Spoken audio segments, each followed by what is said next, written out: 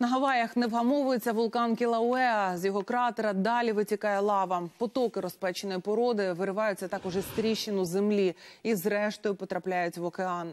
Вулкан прокинувся понад місяць тому. Тисячі острів'ян змушені були виїхати зі своїх домівок. Коли зможуть повернутися додому, невідомо. Багатьом їхати вже нікуди. Вулкан знищив близько шести сотень помешкань.